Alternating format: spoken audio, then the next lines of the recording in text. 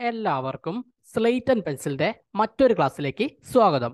ഈ ഒരു ക്ലാസ്സിൽ നമ്മൾ ഡിസ്കസ് ചെയ്യാൻ പോകുന്നത് arithmetic instructions in eight zero eight five arithmetic instructions perform various arithmetic operations such as addition subtraction increment decrement etcetera addition subtraction increment decrement തുടങ്ങിയ arithmetic operations perform ചെയ്യാൻ വേണ്ടി ഉപയോഗിക്കുന്ന instructions ആണെന്ത്? Arithmetic instructions addition subtraction increment decrement തുടങ്ങിയ arithmetic operations perform ചെയ്യാൻ വേണ്ടി ഉപയോഗിക്കുന്ന instructions ആണെന്ത്? Arithmetic instructions അപ്പോൾ നമ്മൾ കോമൺ ആയിട്ട് ഉപയോഗിക്കുന്ന അരിത്തമാറ്റിക് ഓപ്പറേഷൻസ് ആണത് add subtract increment decrement തുടങ്ങിയവയൊക്കെയാണ്.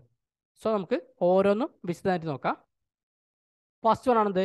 Add R adds the content of register R to the content of the accumulator അപ്പം ആഡ് ആർ എന്ന് പറഞ്ഞാൽ എന്താണ്? രജിസ്റ്ററിലെ കണ്ടന്റും അക്യുമുലേറ്ററിലെ കണ്ടന്റും തമ്മിൽ ആഡ് ചെയ്തിട്ട് റിസൾട്ട് എവിടെ സ്റ്റോർ ചെയ്യാം? അക്യുമുലേറ്ററിൽ സ്റ്റോർ ചെയ്യാം. എന്താണ്? ആഡ് ആർ എന്ന് പറഞ്ഞതാണ് ആറ് എന്ന രജിസ്റ്ററിലെ കണ്ടന്റും അതുപോലെ തന്നെ അക്യുമുലേറ്റർ രജിസ്റ്ററിലെ കണ്ടന്റും തമ്മിൽ ആഡ് ചെയ്തിട്ട് എന്ത് ചെയ്യുക റിസൾട്ട് അക്യുമുലേറ്ററിൽ സ്റ്റോർ ചെയ്യാം. ഫോർ എക്സാമ്പിൾ എടുക്കുക ആഡ് ബി ഇപ്പൊ ആഡ് ബി എന്ന് പറഞ്ഞാൽ ബി എന്ന രജിസ്റ്ററിലെ കണ്ടന്റും എ എന്ന അക്യുമുലേറ്റർ രജിസ്റ്ററിലെ കണ്ടന്റും തമ്മിൽ ആഡ് ചെയ്തതിന് ശേഷം എന്ത് ചെയ്യുക? റിസൾട്ട് ഈ ഒരു എയിൽ സ്റ്റോർ ചെയ്ത് വെക്കുക. അപ്പോൾ ബി എന്ന രജിസ്റ്ററിലെ കണ്ടന്റും അതുപോലെ തന്നെ അക്യുമുലേറ്ററിലെ കണ്ടന്റും തമ്മിൽ ആഡ് ചെയ്ത് റിസൾട്ട് എവിടെ സ്റ്റോർ ചെയ്യുക?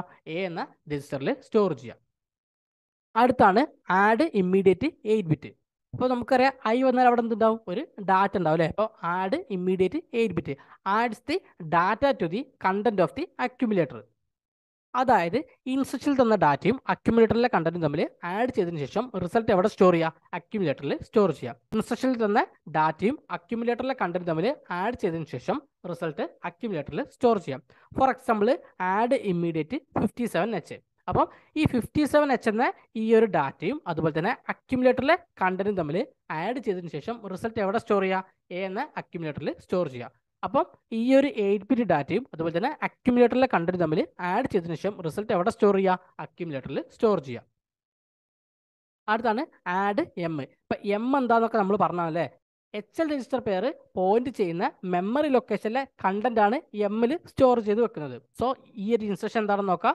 Adds the content of memory to A the address of memory is in H L register അപ്പം മെമ്മറിയിലെ കണ്ടന്റും അക്യുമുലേറ്ററിലെ കണ്ടന്റും തമ്മിൽ ആഡ് ചെയ്തതിന് ശേഷം റിസൾട്ട് എവിടെ സ്റ്റോർ ചെയ്യുക അക്യുമുലേറ്ററിൽ സ്റ്റോർ ചെയ്യുക ഫോർ എക്സാമ്പിൾ നോക്കാം ആഡ് എം എമ്മിലെ അതായത് ഈ ഒരു മെമ്മറിയിലെ കണ്ടന്റും അതുപോലെ തന്നെ അക്യുമുലേറ്ററിലെ കണ്ടന്റ് തമ്മിൽ ആഡ് ചെയ്തതിന് ശേഷം റിസൾട്ട് അക്യുമുലേറ്ററിൽ സ്റ്റോർ ചെയ്യാം.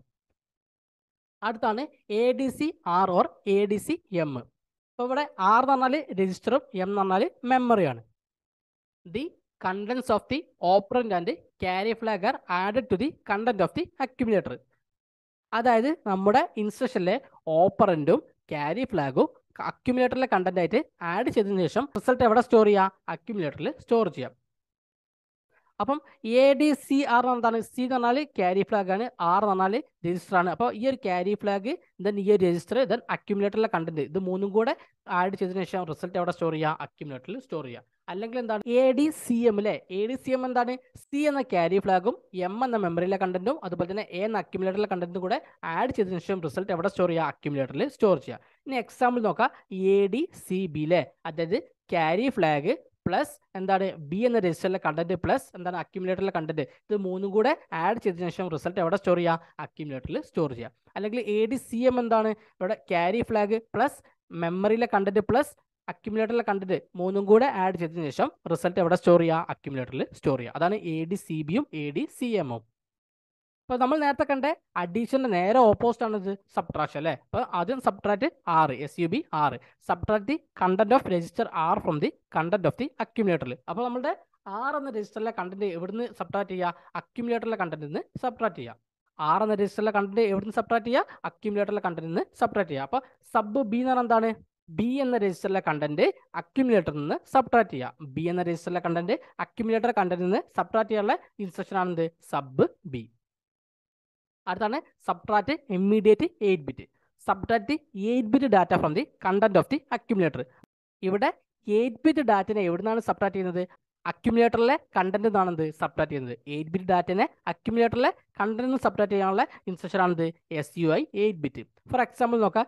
S U I thirty four H അതായത് തേർട്ടി ഫോർ എച്ച് എന്ന ഡാറ്റയെ എന്ത് ചെയ്യുക? അക്യുമുലേറ്ററിലെ കണ്ടന്റ് നിന്ന് സബ്ട്രാക്ട് ചെയ്യുക. തേർട്ടി ഫോർ എച്ച് എന്ന ഡാറ്റയെ അക്യുമുലേറ്ററിലെ കണ്ടന്റ് നിന്ന് ഇമ്മീഡിയറ്റ് ആയിട്ട് സബ്ട്രാക്ട് ചെയ്യുക. അടുത്താണ് സബ് എം അല്ലേ subtract content of memory from A അപ്പം എം എന്ന മെമ്മറിയിലെ കണ്ടന്റ് എവിടുന്ന് സബ്ട്രാക്ട് ചെയ്യുക? അക്യുമുലേറ്ററിൽ നിന്ന് സബ്ട്രാക്ട് ചെയ്യുക. എം എന്ന മെമ്മറിയിലെ കണ്ടന്റ് എവിടുന്ന് സബ്ട്രാക്ട് ചെയ്യുക? അക്യുമുലേറ്ററിൽ നിന്ന് സബ്ട്രാക്ട് ചെയ്യുക. എമ്മിൽ എന്താണുള്ളത് നമുക്കറിയാം എൽ രജിസ്റ്റർ പെയർ പോയിന്റ് ചെയ്ത മെമ്മറി ലൊക്കേഷനിലെ കണ്ടന്റ് ആണെന്ത്? എമ്മിൽ ഉണ്ടാവുക. ഫോർ എക്സാമ്പിൾ സബ് എം എമ്മിൽ അതായത് എം ലെ കണ്ടിട്ട് എവിടെ നിന്ന് സബ്റ്റാറ്റ് ചെയ്യണം എന്ന് പറയുന്നത്? അക്യുമുലേറ്ററിൽ നിന്ന് സബ്റ്റാറ്റ് ചെയ്യുക. റിസൾട്ട് എവിടെ സ്റ്റോർ ചെയ്യുക? അക്യുമുലേറ്ററിൽ സ്റ്റോർ ചെയ്യുക. അടുത്താണ് ഐ എൻ ആർ ആറ് അപ്പോൾ ഐ എൻ ആർ എന്നതാണ് ഇൻക്രിമെന്റ് ആർ എന്നാണ് അല്ലേ increases the content of register R by one അപ്പം രജിസ്റ്ററിലെ കണ്ടന്റിന്റെ വാല്യൂ എന്ത് ചെയ്യുക? ഒന്ന് ഇൻക്രിമെന്റ് ചെയ്യുക. രജിസ്റ്ററിലെ കണ്ടന്റ് എന്ത് ചെയ്യുക ഒരു വാല്യൂ ഇൻക്രിമെന്റ് ചെയ്യുക ഫോർ എക്സാമ്പിൾ ഇപ്പോൾ രജിസ്റ്ററിലെ വാല്യൂ സപ്പോസ് ഇപ്പോൾ ഫോർ വിചാരിച്ചോ. അപ്പോൾ ഫോർ ആണെങ്കിൽ ഒന്ന് ഇൻക്രിമെന്റ് ചെയ്ത് എന്താവും? ഫൈവ് ആവും. ഇനിയിപ്പോൾ എയ്റ്റ് ആണെങ്കിൽ ഇൻക്രിമെന്റ് ചെയ്ത് എന്താവും? നയൻ ആവും. അപ്പോൾ രജിസ്റ്ററിലെ കണ്ടന്റ് ഒരു വാല്യൂ ഇൻക്രിമെന്റ് ചെയ്യാനുള്ള ഇൻസ്ട്രക്ഷൻ ആണത് I N R R for example I N R D അല്ലേ അപ്പോൾ ഡി എന്ന രജിസ്റ്ററിലെ കണ്ടന്റ് എന്ത് ചെയ്യുക ഒരു വാല്യൂ ഇൻക്രിമെന്റ് ചെയ്യുക ഡി എന്ന രജിസ്റ്ററിലെ കണ്ടന്റ് എന്ത് ചെയ്യുക ഒരു വാല്യൂ ഇൻക്രിമെന്റ് ചെയ്യാനുള്ള ഇൻസ്ട്രക്ഷൻ ആണത് ഐ എൻ ആർ ഡി എന്നിട്ട് ആ വാല്യൂ എവിടെ തന്നെയാണ് സ്റ്റോർ ചെയ്യുന്നത്? ആ ഡി എന്ന രജിസ്റ്റർ തന്നെയാണ് സ്റ്റോർ ചെയ്യുന്നത്. അപ്പോൾ ഇൻക്രിമെന്റ് ചെയ്തതിന് ശേഷം ആ രജിസ്റ്ററിൽ തന്നെയാണ് എന്ത് ചെയ്യുക? അതിന്റെ വാല്യൂ സ്റ്റോർ ചെയ്യുക. ദെൻ ഐ എൻ ആർ എമ്മിലെ increments content of memory the address of which is in H L register അപ്പം എം എന്ന മെമ്മറിയിലെ കണ്ടന്റ് ഒരു പോയിന്റ് ഇൻക്രിമെന്റ് ചെയ്യാനുള്ള ഇൻസ്ട്രക്ഷൻ ആണിത് I N R M M എന്ന മെമ്മറിയിലെ കണ്ടന്റ് ഒരു വാല്യൂ ഇൻക്രിമെന്റ് ചെയ്യാനുള്ള ഇൻസ്ട്രക്ഷൻ ആണിത് I N R M then ഇൻക്രിമെന്റിന്റെ നേരെ ഓപ്പോസിറ്റ് ആണ് ഡിക്രിമെന്റ് ഡിക്രിമെന്റ് ആർ അല്ലേ the content of register R by one അപ്പം ഇൻസെഷനിൽ പറഞ്ഞ രജിസ്റ്ററിലെ കണ്ടന്റിന്റെ വാല്യൂ എന്ത് ചെയ്യുക? ഒരു വാല്യൂ ഡിക്രീസ് ചെയ്യുക. ഫോർ എക്സാമ്പിൾ ഇപ്പം ഇപ്പോൾ സിക്സ് ആണ് നമ്മളുടെ രജിസ്റ്ററിലെ കണ്ടന്റ് എങ്കിൽ അത് ഡിക്രിമെന്റ് ചെയ്താൽ എന്താവും? അത് ഫൈവ് ആവും അല്ലേ? ഇനിയിപ്പോൾ ഫോർ ആണെങ്കിൽ അത് ഡിക്രിമെന്റ് ചെയ്താൽ എന്താവും? ത്രീ ആവും അല്ലേ? അങ്ങനെ രജിസ്റ്ററിലെ കണ്ടന്റ് ഒരു വാല്യൂ ഡിക്രീസ് ചെയ്യാനുള്ള ഇൻസ്ട്രക്ഷൻ ആണത്. ഡി സി ആർ ആറ് for example D C R B അല്ലേ ഇപ്പോൾ ബി എന്ന രജിസ്റ്ററിലെ കണ്ടന്റ് എന്ത് ചെയ്യുക? ഒരു വാല്യൂ ഡിക്രിമെന്റ് ചെയ്യാനുള്ള ഇൻസ്ട്രക്ഷൻ ആണത്. ഡി സി ആർ ബി അതേപോലെ തന്നെയാണ് മെമ്മറി ഇല്ലേ ഡി സി ആർ എമ്മിലെ ദി കണ്ടന്റ് ഓഫ് മെമ്മറി അപ്പം മെമ്മറിയിലെ കണ്ടന്റ് ഒരു വാല്യൂ ഡിക്രിമെന്റ് ചെയ്യാനുള്ള ഇൻസ്ട്രക്ഷൻ ആണത്. ഡി സി ആർ എം അടുത്താണ് I N X R P അല്ലേ ഇൻക്രിമെന്റ് ഇൻഡയറക്റ്റ് രജിസ്റ്റർ പെയർ അതാണ് I N X R P increments the content of the register pair അപ്പം register പെയറിലെ കണ്ടന്റ് ഒരു value increment ചെയ്യാനുള്ള instruction ആണിത് I N X R P for example നോക്കാം I N X H അപ്പോൾ I N X H എന്ന് പറഞ്ഞതാണ് H L എന്ന രജിസ്റ്റർ പേരിലെ കണ്ടന്റ് എന്ത് ചെയ്യുക? ഒരു വാല്യൂ ഇൻക്രിമെന്റ് ചെയ്യുക. അപ്പോൾ ഇവിടെ എച്ച് മാത്രമേ കൊടുത്തിരിക്കുള്ളൂ അപ്പോൾ എക്സ് കണ്ടാൽ നമുക്ക് എന്ത് മനസ്സിലാക്കാം? രജിസ്റ്റർ പെയർ ആയിരിക്കും അല്ലേ എച്ച് എൽ എന്നാണ് രജിസ്റ്റർ പെയർ അപ്പം എച്ച് എൽ എന്ന രജിസ്റ്റർ പേരിലെ കണ്ടന്റ് ഒരു വാല്യൂ ഇൻക്രിമെന്റ് ചെയ്യാനുള്ള instruction ആണെന്ത് I N X R P then D C X R P അല്ലേ അതായത് decrement indirect register pair decrement the content of the register pair അപ്പോൾ register പെയറിലെ content എന്ത് ചെയ്യുക? ഒരു വാല്യൂ ഡിക്രിമെന്റ് ചെയ്യാനുള്ള ഇൻസ്ട്രക്ഷൻ ആണ് D C X R P for example നോക്കിയാൽ ഡി സി എക്സ് ബി അല്ലേ ബി സി എന്ന രജിസ്റ്റർ പേരിലെ കണ്ടന്റ് ഒരു വാല്യൂ ഡിക്രിമെന്റ് ചെയ്യാനുള്ള ഇൻസ്ട്രക്ഷൻ ആണിത് D C X B C അപ്പം ബി സി എന്ന രജിസ്റ്റർ പേരിലെ കണ്ടന്റ് എന്ത് ചെയ്യുക ഒരു വാല്യൂ ഡിക്രിമെന്റ് ചെയ്യാനുള്ള ഇൻസ്ട്രക്ഷൻ ആണ് D C X B C so ഇത്രയും കാര്യങ്ങളാണ് നമുക്ക് അരിത്തമാറ്റിക് ഇൻസ്ട്രക്ഷൻസിൽ പഠിക്കാനുള്ളത്.